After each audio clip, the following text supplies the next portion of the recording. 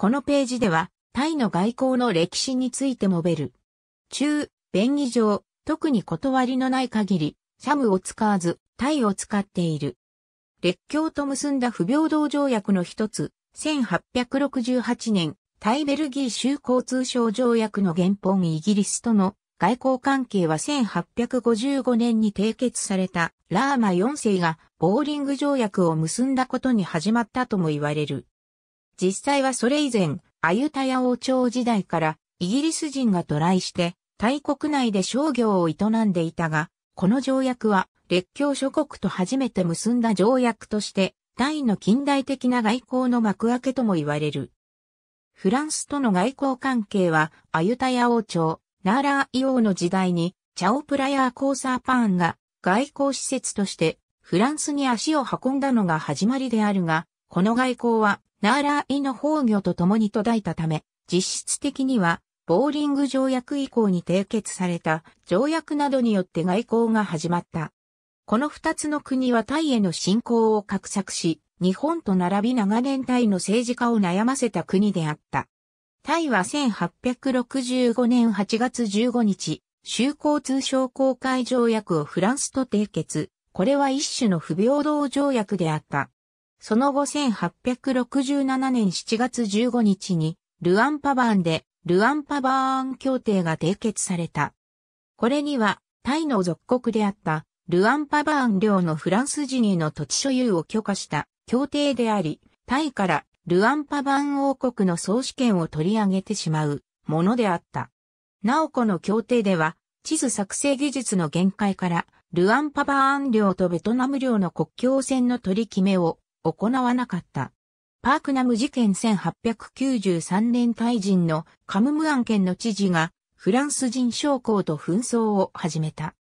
この後、フランスでは議会がタイへの武力行使を容認、同年7月13日にパークナム事件を勃発させた。これは最終的にフランスによってチャンタブリー県、トラウト県が占領されるという事態に発展した。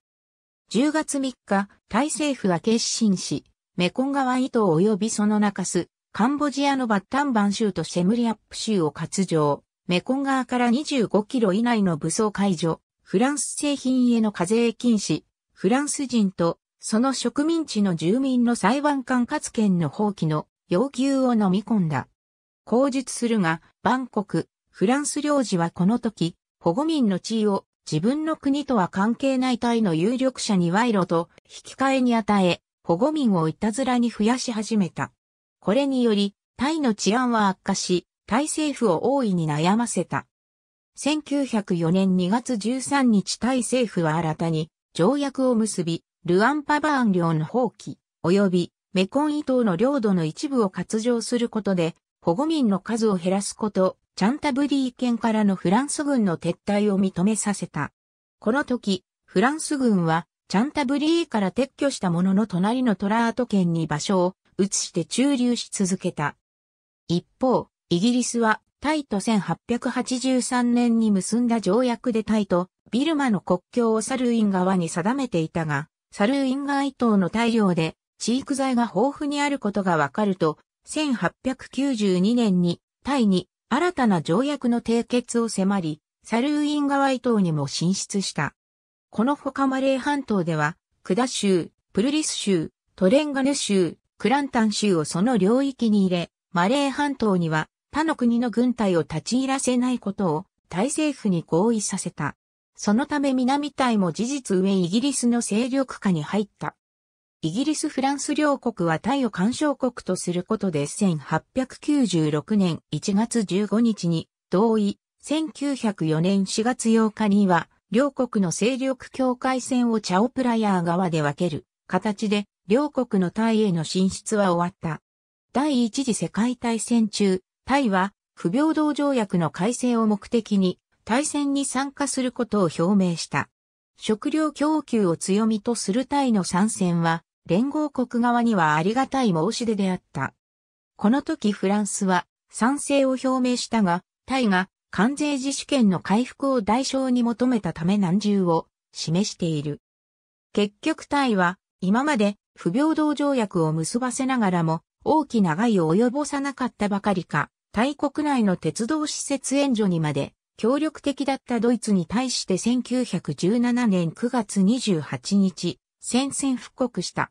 この時までに、タイ政府は国内の企業にドイツオーストリア国籍の住民すべてを解雇することを通達。イギリスとフランスへの反発によるタイ国民の親ドイツ感情は消え失せ、一転して反ドイツムードに包まれた。